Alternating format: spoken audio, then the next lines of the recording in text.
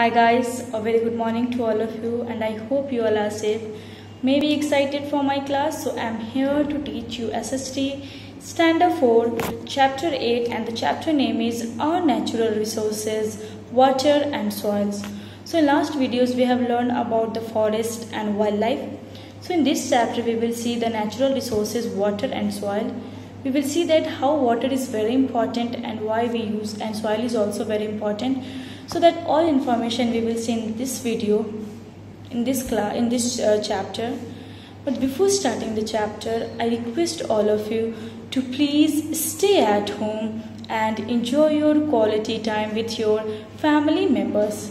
You can enjoy like playing the ludos carom video games. In fact you can complete your holiday homework which you received on uh, on your vacations so that these marks will add in your term 1 exam. In fact you just complete the homework which you received on online classes till chapter 7 if you have not completed then please go through the website check your homework and please complete it. And complete in your SST copy. Please write down in good handwriting legible handwriting and use dark pencils. And I might guess that you guys had completed your healthy and delicious breakfast so eat healthy and stay happy at home. And whenever you are going to eat your meals, please wash your hand properly so that you will be safe from the COVID-19 because it's very uh, very very dangerous virus. Because of this virus we can die also. So for our protectness we should just be careful and if you don't have the book then please purchase it as soon as possible. Please don't go outside. Don't interact with other person. Please attend your online classes. Once the online class will over again you can go through the chapter and you can read the chapter properly. So i'm reading with you. So you also read with me. So let's start the chapter. Now we will study about the water resources and soils of india so just now I said that in this chapter we will learn much more about the water resources and the soils of India. So our first topic is our water resources. Our water resources. So don't see the book, just I'm talking about the water that from standard 1 till standard 3 you have learned about the water that it is very important for us. It gives us, uh, it gives us, it is the sources of water which we get from the rain, from the lakes, from the rivers. So in fact it gives, uh, it is used in different purpose also. We can use the water for cooking for drinking. So everything for washing the clothes for for washing the utensils. So for clean everything we need the water. So water is very important for all living things. Water is very important for all living things.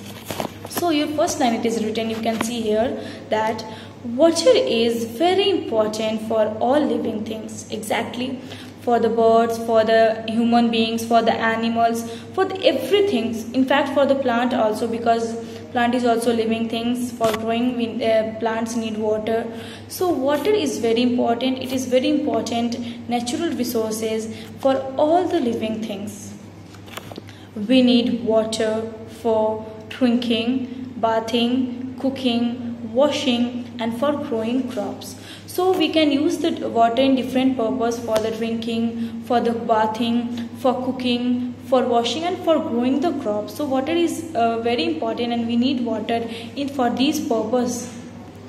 We know that three-fourths of the earth's surface is covered with oceans. Exactly our earth it our earth is what? The three part the three all part is covered with water is covered with the earth surface with uh, covered with the oceans. With the oceans means it is covered with water. Only one only one fourth is what it is covered with land. So we have a lots of water is there but that water is not health, healthy and it is not there that we can drink that water. It is unfit uh, for us. So that's why uh, only in third three fourth percent we have only 25% water. It is very uh, that is useful and that we can drink for water because all that water is salty water. So that's why we can't use the salt water. So but most of these water is salty and not fit for either drinking or cooking. So the three-fourth of the uh, earth is covered with water but the most of the water it water is salty. Salt water we and it is not fit for drinking and for cooking. If we can drink then we can uh, we can become uh, sick also. So the salty water it is not good for us and it is not fit for our body. So that's why we can't drink the salt water and we can't use the salt water for drinking and for cooking. Fresh water which is used by us exists in lakes rivers streams and ponds so the fresh water which we used for drinking and cooking it it we just used from the and it is exist in lakes rivers streams and ponds. These all waters is what it is a fresh water and we can use this water with a different purpose like drinking for cooking.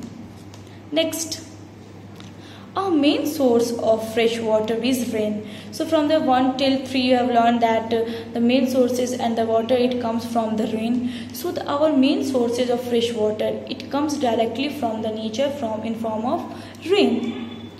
In india farmers farmers depend on the monsoon seasons monsoon seasons and rains for their crops. So the farmers because for growing the crop crops we need the water so that the farmers they are totally depends on monsoon seasons monsoon rains uh, to what uh, for their crops so that the monsoon season is there then the rain automatic it will uh, come so it is like natural resources so the the crops will grow better. So that's why farmer is also depend on directly to the monsoon rain. But rainfall is not uniform throughout india yes it is like a natural it comes uh, it, like changing it, uh, it comes any times we don't know that when it will come. So some places get a lot of rain while other places receive very little rain. Yes exactly if some place you can see that it receives a heavy rains because of heavy rains the flood will also come. But in another place there uh, the place which not received even a little rain also so it is like a natural things that if one place too much rain is there then another another place is total totally dry. For uh, moreover the monsoons provide rain only for a few months in the year. So that's why the monsoon seasons it comes just for a few months and it provides the rain only for a few months in the year. Next irrigation irrigation. So farmers need water throughout the year to grow crops. Exactly. You can know that the farmer is what it totally depends on the water. So or on or on the soil also that uh, the quality is good or not.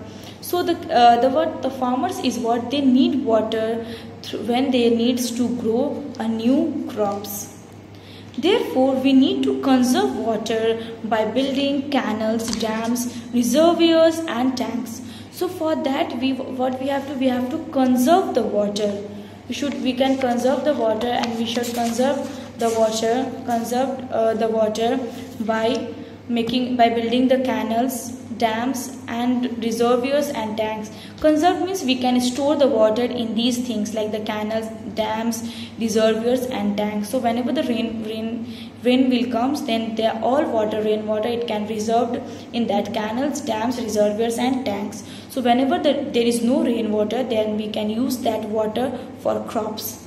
So that's why we need to store water by building these all things like the canals dams reservoirs and tanks.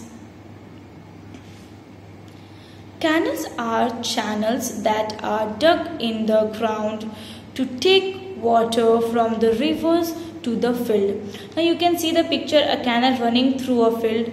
So here is what it is uh, like it is a, a area where we can dug and we can take the underground water from the rivers to the fields. So that water directly it can pass uh, through the uh, through the that field. We don't have to take and then we have to don't have to go there. It directly goes on the field in some places Wells are dug to bring underground water to the surface. So in some places what we need uh, the water so that's why we have to dug dug that from the underground water so that we can take from uh, take the water from the underground surface When underground water is found very deep below the surface, holes are huge, holes are dug with the help of machines to reach these water. So when we need the underground water and we find that water in the deep in the deep below the underground so that it becomes a very big hole and we can't do humans can't do that big holes. So for that we need that machines to reach that to reach uh, that to to the water. Then tubes are sunk through these holes the underground water is brought to the surface these tubes with the help of an electric or diesel pump. So that's why we can get water that underground water from the surface through the through that tubes and with the help of an electrical or diesel pumps. Now the next lines that I will tell you in the next video. So please guys watch the next videos. Take care of yourself. Thank you and have a nice day.